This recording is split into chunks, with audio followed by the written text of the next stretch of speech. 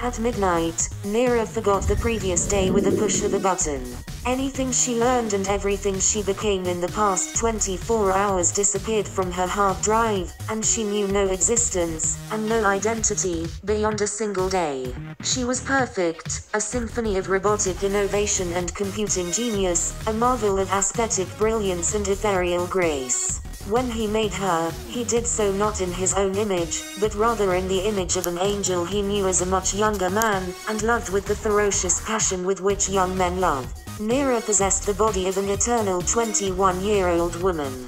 Her contours elegant and understated, and her artificial skin, indistinguishable from the real thing, was smooth and tanned a healthy golden hue.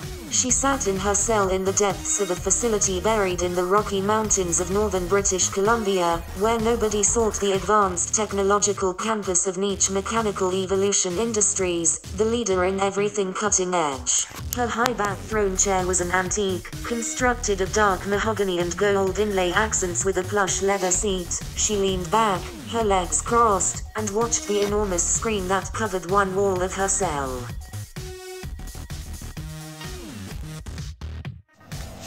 Separated into many smaller screens, this screen was her only window into the world outside the facility, and the isolation of the mountains. Each of the smaller screens displayed worldwide television broadcasts. The millions of posts streaming in front of her eyes came from live feeds of social media websites.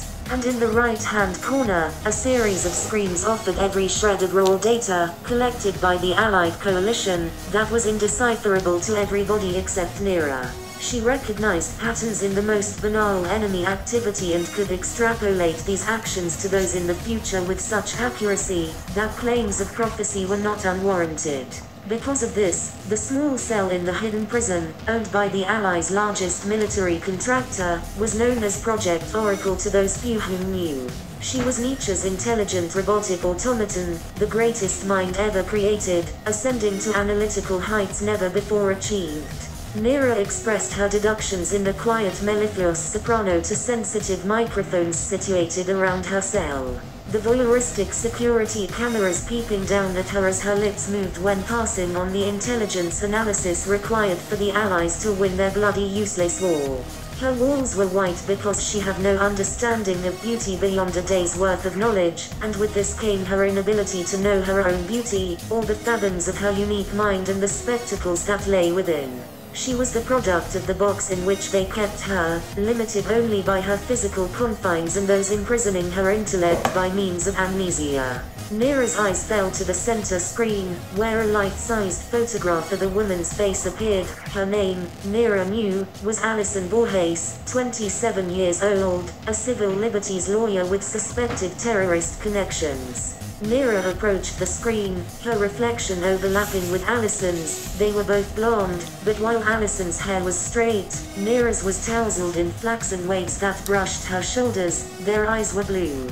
But Nira's so blue as to become hypnotic after sustained eye contact, and both were beautiful, but only Alison knew it. The following image was of the same photograph of Alison from a distance, revealing her wardrobe and location.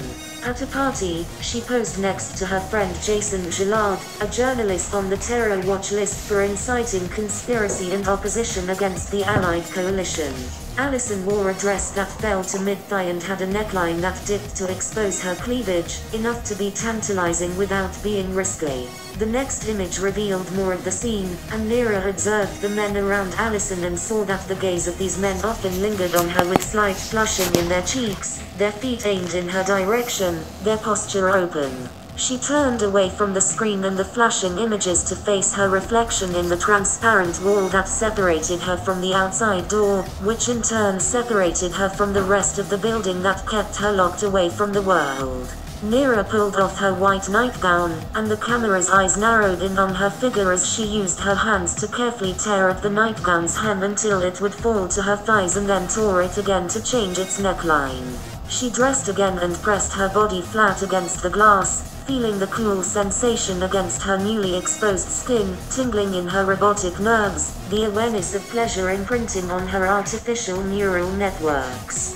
When Nira exhaled, she fogged the glass, and ran her index finger through the condensation.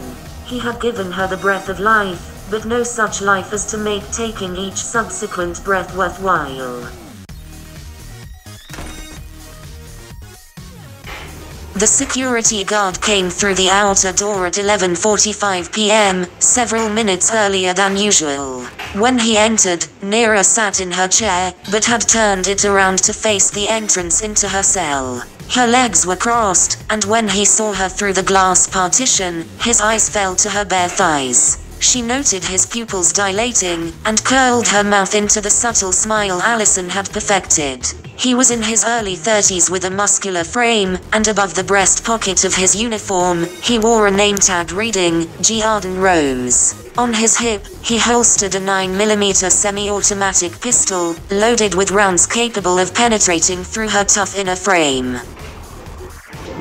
Let's get this over with. I've got someplace else to be. He stepped through the glass door into her cell. A date? What? No, why? He was taken aback. She never showed any interest in him before. Because. She studied his name tag, analyzing vast amounts of data in a fraction of a fraction of a second. Grant, I'd be jealous. He loosed a nervous chuckle as Nira repositioned herself on her chair, her nightgown riding up.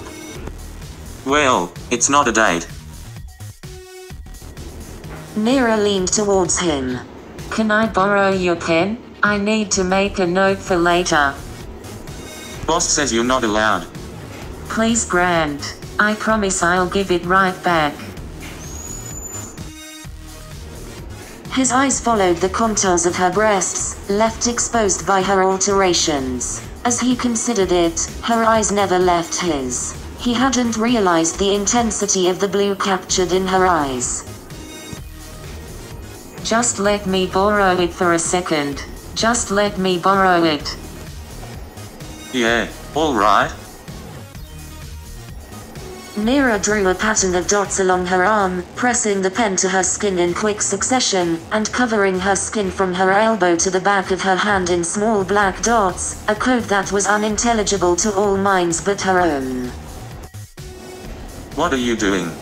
Will you come early tomorrow and visit me?